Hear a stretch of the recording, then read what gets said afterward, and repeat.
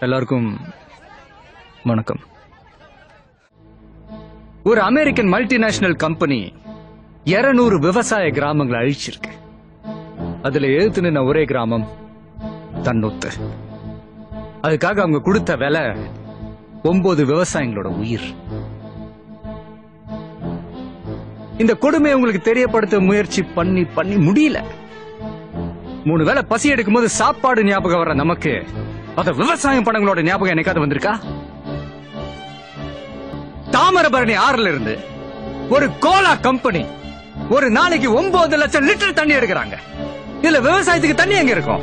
விவசாயி தற்கொலை பண்ணிக்காம என்ன பண்ணுவான் அவங்க பசிக்கு பிச்சை கேட்கல சார் விவசாயத்துக்கு தண்ணி கேட்கறாங்க. தன்னூத்து கிராமம் மட்டும் இல்ல சொந்த ஊரை விட்டு ஓடி போன அத்தனை விவசாயிகளும் தான்.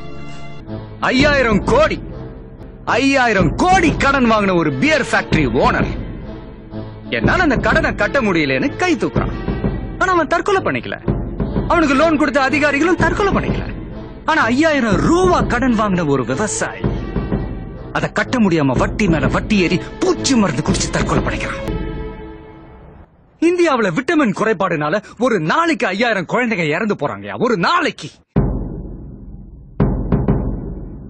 பணக்காரன் யூஸ் பண்ற ஒரு ஒரு காண்டம்ல ஸ்ட்ராபெரி ஃபிளேவர் வேணும்னா ஒரு ஏழை குழந்தை தன்னோட வாழ்க்கையில ஸ்ட்ராபெரிய நினைச்சு பார்க்க முடியுமா?